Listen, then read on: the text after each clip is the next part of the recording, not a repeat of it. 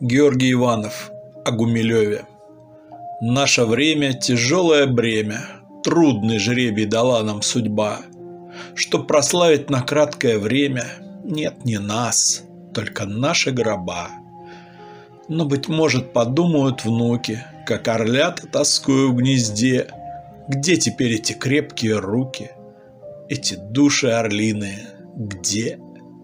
Гумилев, чужое небо, был не жаркий, только теплый, только солнечный август 1921 года.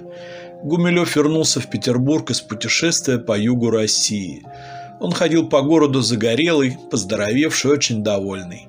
Его жизни, он говорил, наступила счастливая полоса.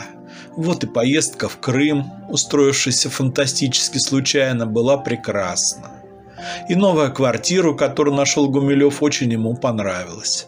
И погода, посмотрите, что за погода. Литературные дела тоже его радовали. Был НЭП, появилось много издательств.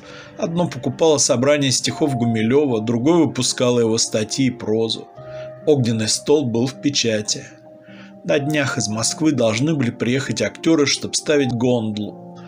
Это Гумилеву было особенно приятно. С постановкой на сцене пьесы его имя проникало в новые слои публики, и его влияние расширялось. Вообще влияние Гумилева и его известность росли на глазах. Все больше становилось у него поклонников, учеников, все чаще его имя, как равное, противопоставлялось имени Блока. С уверенностью могу сказать, что ничто или почти ничто не омрачало этих последних дней Гумилева – он был здоров, полон надежд и планов, материально и душевно все складывалось для него именно так, как ему хотелось. Это ощущение полноты жизни, расцвета, зрелости сказалось и в заглавии, которое он тогда придумал для своей будущей книги «Посредине странствия земного». Прибавлю, что в эти теплые ясные августские дни Гумилев был влюблен, и это была счастливая любовь. Гумилев пришел домой в два часа ночи. Свой последний вечер на свободе он провел в им же основанном доме поэтов, в кругу преданно влюбленной в него литературной молодежи. Как всегда, сначала занимались, читали и обсуждали стихи, потом бегали, кувыркались, играли в фанты. Кумилев очень любил и это общество, это времяпровождения, и всегда веселился от души.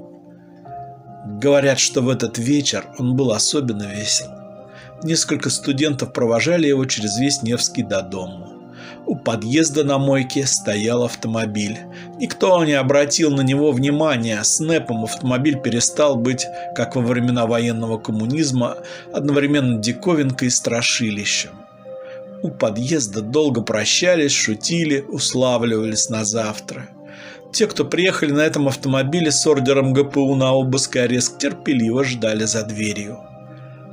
Потом поставили к стенке и расстреляли его, и нет на его могиле ни холма, ни креста, ничего. Ирина Адоевцева баллада о Гумилеве. Потом стали проходить годы. Прошло 10 лет с тех пор, как в ту августовскую ночь Гумилев был выхвачен из своего странствия земного – из самой полноты жизни и творчества и механически уничтожен машиной большевистского правосудия. Гумилева нет, нет ни холма, ни креста на его безвестной могиле. Остались стихи, биография, все увеличивающаяся посмертная слава. Стихи, биография, слава. Золотая статуя поэта-героя – и с другой стороны живая, трагически оборвавшаяся 10 лет тому назад жизнь. Когда-нибудь их контуры сольются, но пока одно другому мешает, одно другому противоречит. Что-то от живого Гумилева и 10 лет спустя еще веет в воздухе, не позволяет говорить о нем как о мертвом. Еще режут слух нестерпимой фальшью пышно официальные фразы. Но и смерть. Такая смерть предъявляет свои права. Трудно говорить как о мертвом, нельзя говорить как о живом. Все это очень путает планы и очень связывает руки. И еще. В биографии славной твоей разве можно оставить пробелы? Писала давно, до войны, начинающая поэтесса Ахматова своему мужу Коле. Писала полунасмешливо, полусерьезно, более насмешливо, чем серьезно, Так вот, заполнит как надо пробелы в биографии Гумилева только тот, для кого улыбка, с которой Ахматова читала эти стихи, и с которой в свое время все мы ее слушали, станет окончательно невозможной и непонятной. 27 августа 1921 года Гумилев был расстрелян. Ужасная, бессмысленная гибель. Но в сущности, для биографии Гумилева, такой биографии, какой он сам себе желал, трудно представить конец более блестящий. Поэт, исследователь Африки, георгиевский кавалер и, наконец, отважный заговорщик, схваченный и расстрелянный в расцвете славы, в расцвете жизни. Не знаю, доброй или злой была фея, положившая в колыбель Гумилева свой подарок – самолюбие. Необычайное, жгучее, страстное. Этот дар помог Гумилеву стать тем, чем он был. Этот дар привел его к гибели. С семилетним Гумилевым сделался нервный припадок от того, что другой шестилетний мальчик перегнал его, состязаясь в беге. Одиннадцати лет он покушался на самоубийство неловко сел на лошадь, домашние гости видели это и смеялись. Год спустя он влюбляется в незнакомую девочку-гимназистку, долго следит за ней и, наконец, однажды, когда она входила в ворота дома, подходит и признается, задыхаясь. «Я вас люблю», — девочка ответила. «Дурак» и захлопнула дверь. Гумилев был потрясен. Ему казалось, что он ослеп и оглох. Ночами он не спал, обдумывая месть, сжечь тот дом, стать разбойником, похитить ее или убить. Обида, нанесенная двенадцатилетнему Гумилеву, была так сильна, что 35 лет он вспоминал о ней, смеясь, но с горечью. Гумилев был слабый, неловкий, некрасивый ребенок. Но он задирал сильных, соперничал с ловкими и красивыми. Неудачи только пришпоривали его – Гумилев, подросток, ложась спать, думал об одном – как прославиться. Мечтая о славе, он шел утром в гимназию. Часами, блуждая по царско-сельскому парку, он воображал тысячи способов осуществить свои мечты. Стать полководцем, ученым, взорвать Петербург. Все равно что, только бы люди повторяли имя Гумилева, писали о нем книги, удивлялись ему. Понемногу в его голове сложился стройный план завоевания мира. Надо следовать своему признанию, писать стихи. Эти стихи должны быть лучше всех существующих, должны поражать, ослеплять, сводить с ума. Но надо, чтобы поражали людей не только его стихи, но он сам, его жизнь.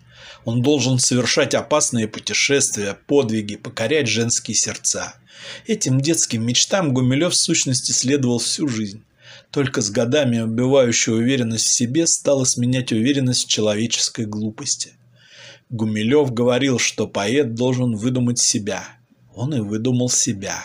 Настолько всерьез, что его маска для большинства его знавших, о читателях нечего и говорить, стала его живым лицом. Только немногие близкие друзья знали другого Гумилева, ни героя, ни африканского охотника. Какой-то домашний знакомый, это было в 1910 году, развлекал общество чтением декадентских стихов. Мне было 16 лет, я уже писал стихи, тоже декадентские, дюжинами.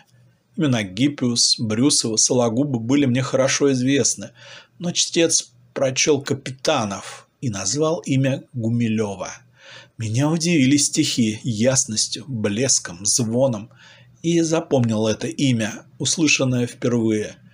Года через полтора я с Гумилевым познакомился. Это было на вечере в честь Бальмонта. Там должен быть в сборе весь цех поэтов. И я только что в цех выбранный явился туда рабея, волнуясь, как новобранец свою часть. Конечно, я пришел слишком рано. Понемногу собрались другие. Зинкевич, Мандельштам, Владимир Нарбут. Пришел Сергей Городецкий с деревянной лирой под мышкой, фетишем цеха. Уже началась программа, когда кто-то сказал «А вот и Николай Степанович». Гумилев стоял у кассы. Вечер проходил в бродячей собаке, платя за вход. Слегка наклонившись вперед, прищурившись, он медленно пересчитывал на ладони мелочь. За ним стояла худая высокая дама. Ярко-голубое платье не очень шло к ее тонкому, смуглому лицу. Впрочем, внешность Гумилева так поразила меня, что на Ахматову я не обратил почти никакого внимания. Гумилев шел не сгибаясь, важно и медленно, чем-то напоминая автомат. Стриженная под машинку голова, большой, точно вырезанный из картона нос, как сталь холодные, немного косые глаза. Одет он был тоже странно, черный долгополый сюртук, как-то особенно скроенный и ярко-оранжевый галстук. Нас познакомили. Несколько любезно незначительных слов, и я сразу почувствовал Гумилеву, граничить со страхом почтения ученика к непререкаемому метру. Я не был исключением. Кажется, не было молодого поэта, которому Гумилев не внушал сразу при первой же встрече тех же чувств. Это впечатление осталось надолго. Только спустя много лет близости и тесной дружбы я окончательно перестал теряться в присутствии Гумилева. Внешность Гумилева показалась мне тогда необычайной до уродства. Он действительно был некрасив и экстравагантный, потом он ее бросил манерой одеваться, некрасивость свою еще подчеркивал. Но руки у него были прекрасные, и улыбка, редкая по очарованию, скрашивала едва он улыбался все недостатки его внешности. Цех поэтов был основан Гумилевым и Городецким. Только правилом, что крайности сходятся, можно объяснить это правда недолгий союз. Надменный Гумилев и рубаха-парень Городецкий. Что было общего между ними и их стихами – Официально Гумилев и Городецкий были равноправными хозяевами цеха, синдиками. Они председательствовали поочередно, и оба имели высокое преимущество сидеть в глубоких креслах во время заседания. Остальным, в том числе Кузьмину и Блоку, полагались простые венские стулья. Обычно Городецкий во всем поддерживал Гумилева, но изредка, вероятно, для формы вступал с ним в спор. Гумилев говорил «прекрасно». Городецкий возражал. Позорно. Разумеется, Гумилев неизмерно торжествовал. Вообще он очень любил спорить, но почти никогда не оказывался побежденным. С собеседниками столь робкими, как его тогдашние ученики, это было нетрудно. Но и серьезным противником он почти всегда находил средства сказать последнее слово, даже если был явно неправ. Отношения между синдиками и членами цеха были вроде отношений молодых офицеров с командиром полка. В строю, то есть во время заседания, дисциплина была строжайшая. Естественно, что мэтры, считавшие себя таковыми, вскоре пообижались по разным поводам и цех посещать перестали. Осталась зеленая молодежь. Наиболее верные впоследствии образовали группу акмеистов. После заседания весело ужинали – и опять, как в полковом собрании, командир Гумилев пил с молодежью, на «ты» шутил, рассказывал анекдоты, был радушным любезным хозяином, но субординация никогда не забывалась. Гумилев трижды ездил в Африку. Он уезжал на несколько месяцев, и по возвращению экзотический кабинет в его царско-сельском доме украшался новыми шкурами, картинами, вещами. Это были утомительные, дорогостоящие поездки – а Гумилев был не силен здоровьем и не богат. Он не путешествовал как турист. Он проникал в неисследование области, изучал фольклор, мирил враждовавших между собой туземных царьков. Случалось, сдавалось сражение. Негры из сформированного им отряда пели, маршируя по Сахаре.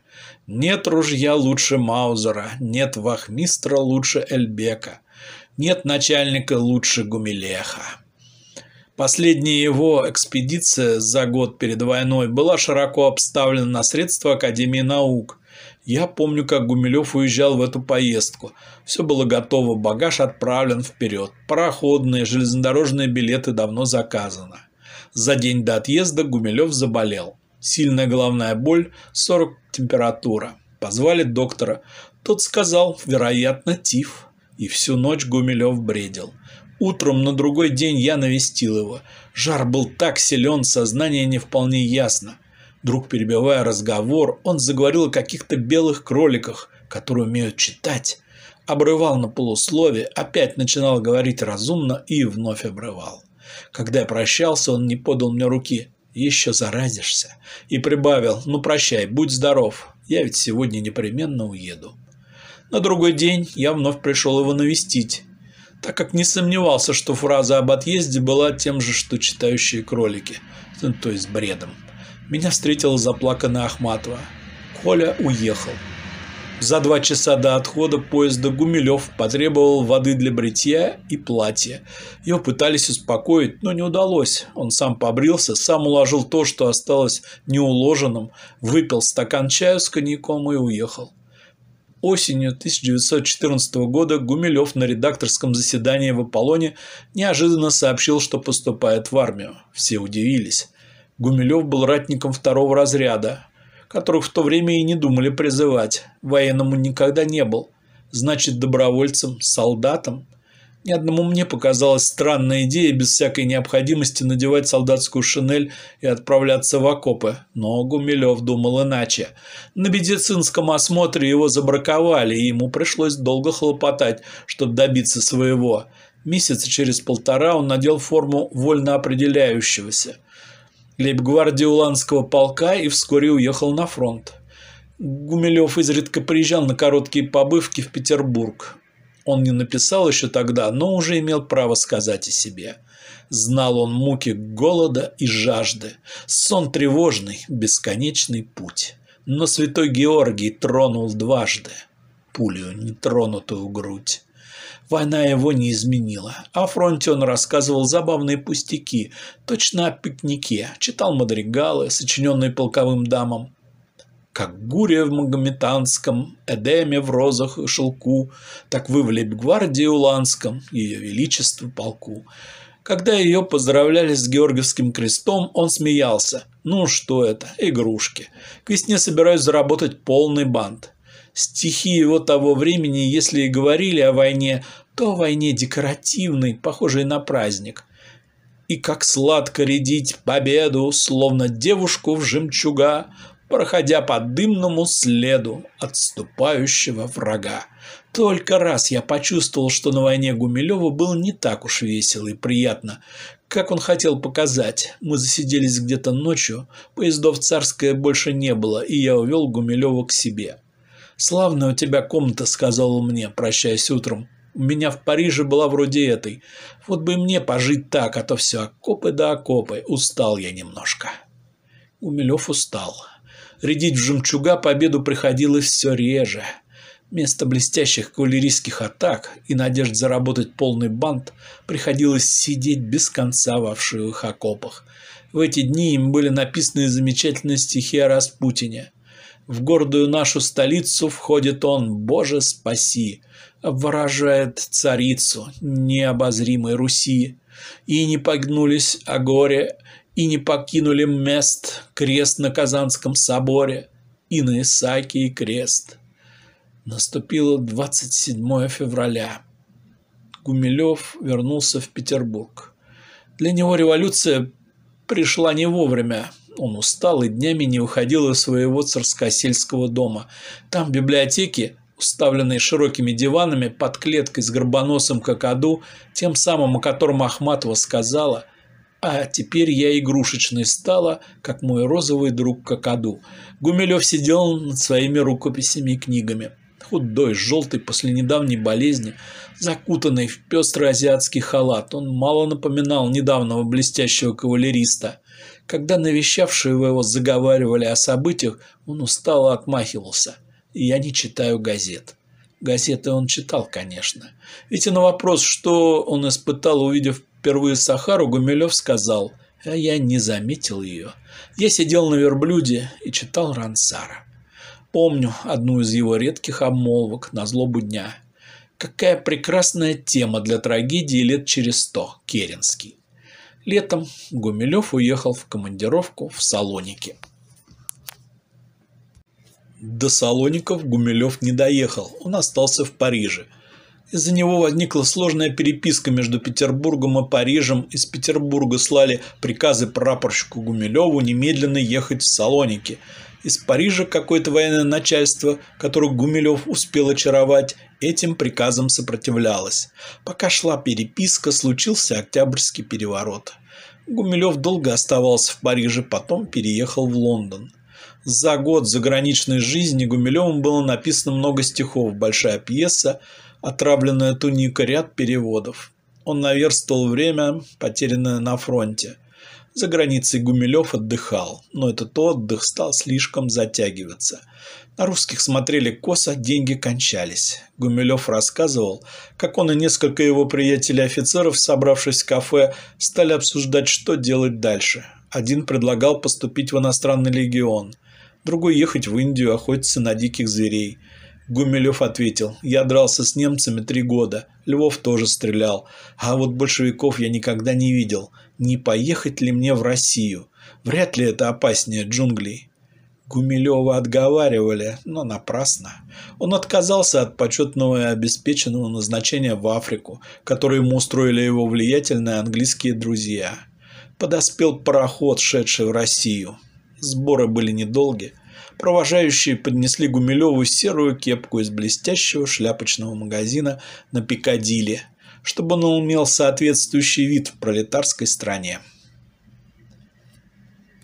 Летом 1918 года Гумилев снова был в Петербурге. Он гулял по разоренному Невскому, сидел в тогдашних жалких кафе, навещал друзей, как всегда спокойный, надменный. У него был вид любопытствующего туриста – но надо было существовать. К тому же Гумилев только что женился вторым бра браком на Анне Энгельгард. До сих пор Гумилеву не приходилось зарабатывать на жизнь. Он жил на ренту. Но Гумилев не растерялся. «Теперь меня должны кормить мои стихи», — сказал он мне. Я улыбнулся. «Ну, вряд ли они тебя прокормят». «Должны». И он добился своего. До самой своей смерти Гумилев жил литературным трудом. Сначала изданием новых стихов и переизданием старых, потом переводами. Сколько их он сделал для всемирной литературы. У него большая семья на руках. Гумилев сумел прокормить ее стихами.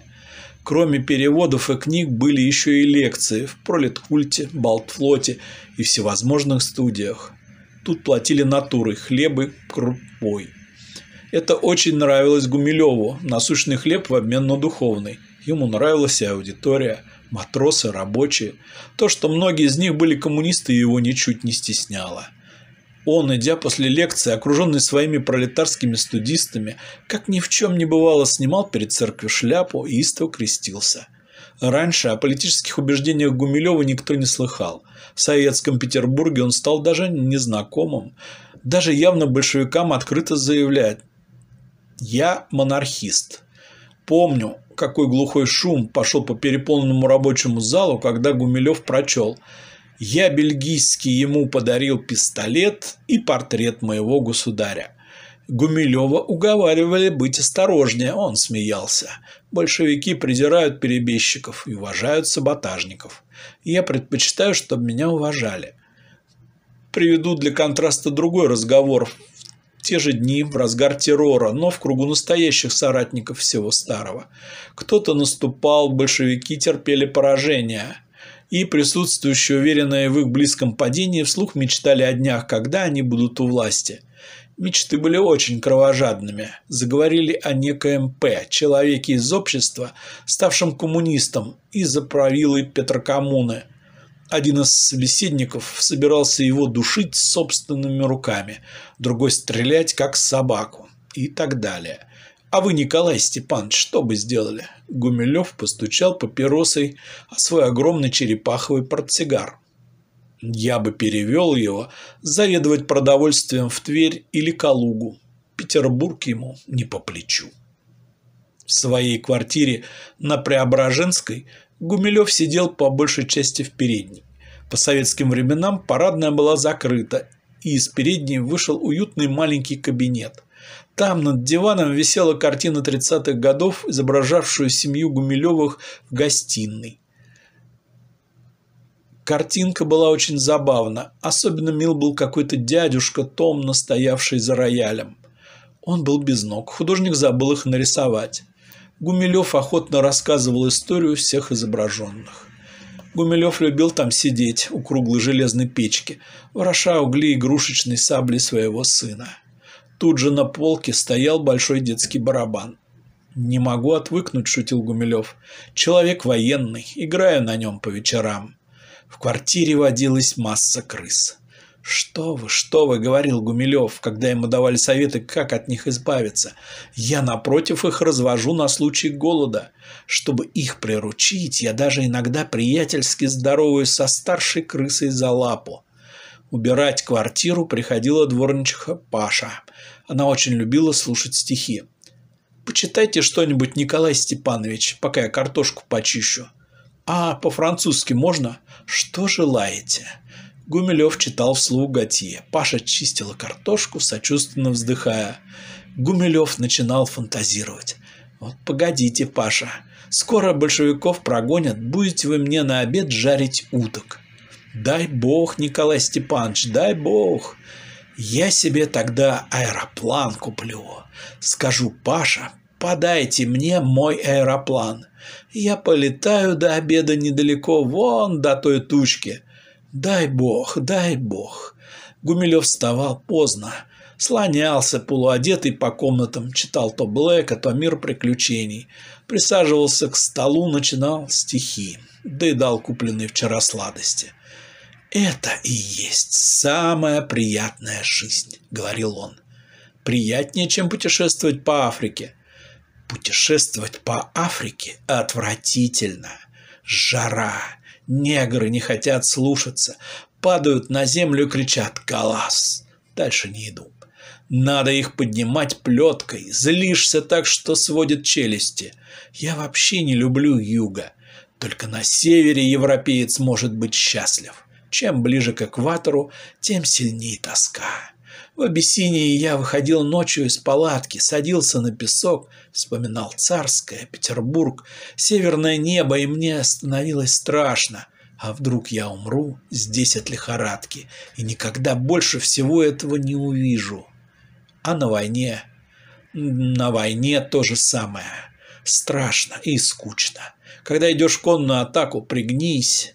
Я не пригибался, но прекрасно сознавал какой-то риск. Храбрость в том и заключается, чтобы подавить страх перед опасностью.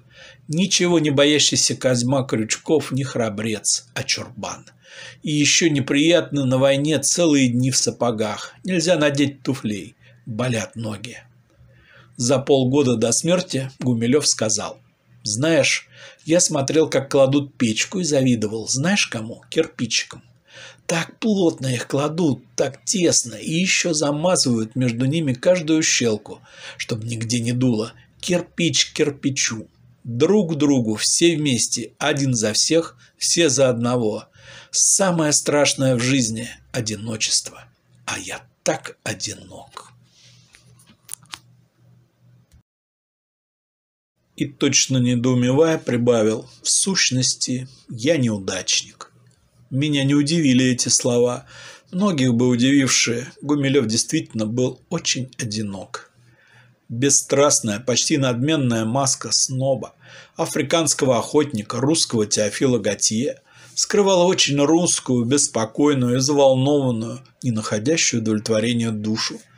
Как далек был в сущности свой, своей Гумилев от блестящего и пустого Готье, он сам это хорошо сознавал но сознавая с тем большим упорством, сжимая зубы, шел раз выбранной дорогой, линией наивысшего сопротивления. Всю свою короткую жизнь Гумилев был окружен холодным и враждебным непониманием, и он то злился, то иронизировал. «О нет, я не актер трагический, я ироничнее и суше, я злюсь, как идол металлический среди фарфоровых игрушек. Он помнит головы курчавые, склоненные к его подножью, жрецов молитвы величавые, леса, охваченные дрожью, и видит горестно смеющийся, всегда недвижные качели, где даме с грудью выдающейся пастух играет на свирели. Всю жизнь Гумилев посвятил одному заставить мир вспомнить, что в Евангелии от Иоанна сказано, что Слово – это Бог. Божественность дела поэта он старался доказать и утвердить всеми доступными человеку средствами на личном примере. В этом смысле, как это ни странно, звучит Гумилев погиб не столько за Россию, сколько за поэзию. В этом смысле, при всех своих литературных успехах, он был прав, считая себя неудачником. Всю жизнь он, как укротитель, хлопал бичом, готовый быть растерзанным, а звери отворачивались и равнодушно зевали.